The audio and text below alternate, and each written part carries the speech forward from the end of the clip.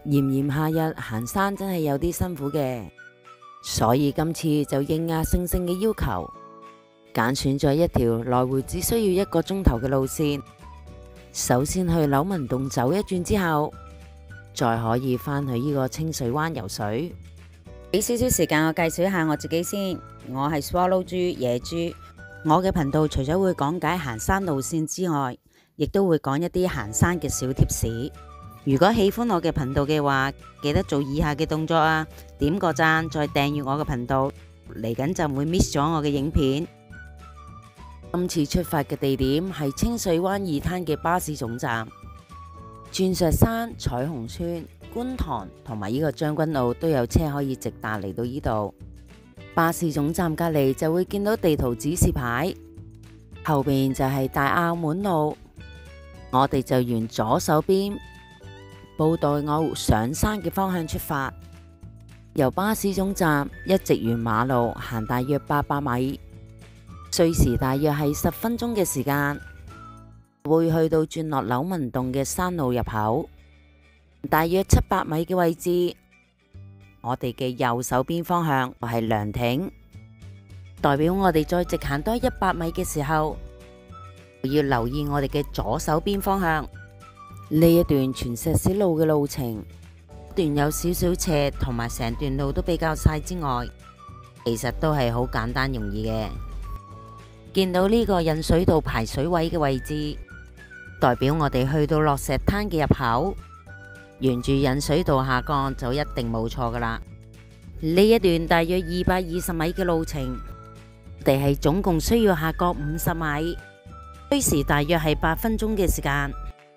因为近年好多人嚟睇呢个海食洞，好自然就成为打卡热点。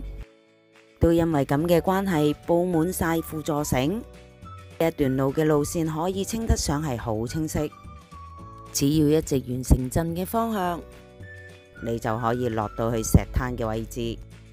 我凡都要讲多一句噶啦，辅助绳只系作辅助用，唔好将个重心放晒落去。至于路况方面，呢一段山林路嘅初段同尾段都系会比较斜，而且沙石化都比较严重，所以行嘅时候就要特别小心。去到中段嘅位置，路况就比较平淡啦。因为今集介绍嘅行程系比较短，单程只有一点二公里，大约二十五分钟就可以完成，来回一转都只系需要大约一个钟头时间。可以称得上系一星级嘅路线，但因为加上呢一段林路同稍后时间落到去石滩有一小段嘅群边位置，所以我会定佢为依个两星级难度嘅路线。喺行程安排上面，作为起步又或者结尾，或者好似我哋咁行完之后再去清水湾游一转水，都可以称得上一个唔错嘅选择。而家影片上面嘅位置好明显地转斜，亦都代表我哋开始接近石滩嘅位置。当我哋落到去石滩之后，就需要左转行多一百四十米，需时大约五分钟嘅时间，先至可以去到柳文洞嘅位置。头判断大部分时间都喺礁石上面行走，最佳嘅路线就系自己用肉眼判断。觉得自己能力许可又容易嘅话，就行嗰度之后就会落返去碎石滩，唔多一小段就会到达柳文洞。其实柳文洞系一个好细嘅海石洞，所以一啲都唔显眼噶。又系时候补充翻一啲地理环境资料啦。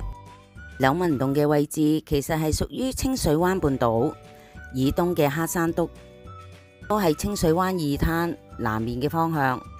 海岸线嘅一个海食洞，而喺虾山督嘅沿岸，其实总共有四个海食洞，由北至南嘅方向分别就系虾山督大洞，又名火星洞；跟住就系虾山督小洞同虾山督阔洞，仲有虾山督直洞，亦即系柳文洞。最容易去得到嘅就系今集介绍嘅柳文洞。呢个洞嘅特色系乜嘢？特别之处就系佢嘅洞壁里面非常之光滑，系因为受到长年累月海水嘅侵蚀，影相嘅时候会呈现出呢个扭纹嘅状态。最后要讲就系嚟扭纹洞需要注意嘅潮汐涨退时间同水位，最好嘅时机就系水位喺一米或以下，咁就完全可以唔使湿脚入到呢个扭纹洞里面。潮汐涨退嘅资料可以喺边度揾得到？